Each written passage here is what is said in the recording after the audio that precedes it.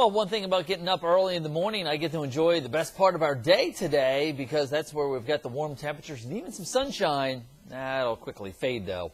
I'm Storm Track 12 meteorologist Les Still here with your Tuesday morning web forecast and I am tracking uh, again, the best part of the day was this morning, but a warm and even humid start to the day as we had dew points that are in the 60s. Now, those dew points are quickly dropping, and as we go on through tonight and tomorrow, a pretty good soaking rainfall will develop uh, anywhere between about a quarter of an inch and maybe close to an inch of rainfall down along the beaches. We'll be looking for clearing skies for the second half of the week and definitely much colder temperatures from now all the way into the weekend as far as the rainfall was concerned. Had a little band moved up between Jacksonville and Morehead City and along the Crystal Coast and down East Carteret County early this morning. Nothing more than a couple hundredths of an inch of rainfall, but that's moving out of here.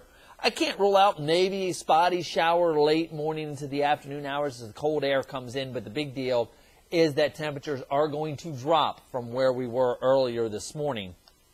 We'll get down into the upper 50s and lower 60s for this afternoon. Rain develops. We'll hold in the mid to upper 40s overnight tonight, but not really rise all that much for tomorrow. A rainy and raw day in store for us here in eastern Carolina with a gusty northeasterly wind and temperatures. Uh, some spots may not even get out of the 40s. Uh, as far as temperatures for the entire 24 hour period tomorrow. Now, where were we yesterday? Well, we fell a couple degrees short of record highs. Uh, 70 was where we topped out in Greenville. 79 was the record, so way short there.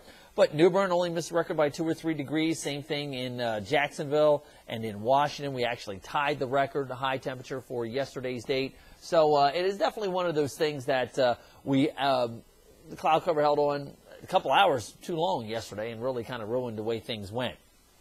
Here's what we're dealing with as far as uh, going on for the day today. A front crossing its way through the area. Now, the problem with the front is much of the upper level energy is off to the north and down in the south here. Look at all this moisture streaming out of the Gulf of Mexico coming right up along this front. And that is going to be the main player in our forecast as we go through tonight and tomorrow as a wave of low pressure. Again, that moisture coming out of the Gulf of Mexico is going to be where it's coming from, rides up along that front. And the problem is, is that we've got winds coming from different direction at different layers of the atmosphere here. We're up at the jet stream level, looking up at around 25, 35,000 feet. We've got these screaming southwesterly winds. So this is where all that heat and moisture is coming out of the Gulf of Mexico. Meanwhile, at the surface, we've got a high pressure centered across the north here and low level north northeasterly winds coming in behind this front.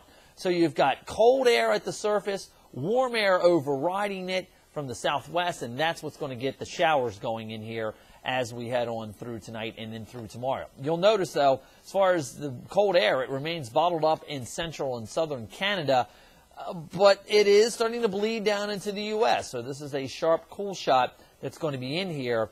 Again, you'll notice there kind of the energy hanging back here across Texas. That ejects on out, and that's what helps develop that low pressure system as we head off through tonight and tomorrow along our coast. There's the upper level trough. It does take a little bit of a negative tilt to it with the moderately colder air in place. So as a result, we do see the warmer air at the upper level still continuing to feed in. And then as soon as that sharp cold shot works its way through the area, upper level heights rebuild. And guess what? We're back in on the warming side of things as we head on into the weekend with sunshine with another high pressure sliding down. But this one, again, coming more in this direction over us as opposed to last week where it went off to the north and we saw those easterly winds bring the moisture in off of the ocean. Eventually, middle of next week, it looks like a big pattern change is going to be coming our way. And probably what we're going to see is kind of every fourth or fifth day, these waves of storms coming through. Notice the GFS model that we're using here already showing another one in the pipeline. Uh, some difference in timing on that. Uh, European model is a little bit slower. Either way, late Sunday going into Monday, it looks like that storm system will be working its way through the area here and we're going to be having another one to middle to the end of next week. Here's what the winds are looking like, and you know, as uh, George Carlin said, all you got to do is figure out which way the wind's blowing, right? Well, it's that wind coming into that north northeasterly direction. It's going to bring that colder air in place as we go on through the day today. Again, temperatures falling from early morning highs in the mid to upper 60s, dropping on back through the 40s overnight tonight, and then notice with that high nosing in across Pennsylvania and Virginia, we still continue that northerly flow in here for tomorrow. So again, we've got low level cold air coming in on northerly winds with warm, more southwesterly winds overrunning it. That's what's going to create the showers along with that wave off the coast for tonight going into tomorrow. So tomorrow is going to be a cloudy, raw day for us here in eastern Carolina. Future Track does show uh, maybe a brief window for, uh, say, about uh, 8 o'clock until about noontime. We may see some sunshine around here, but then the colder air is in the stay.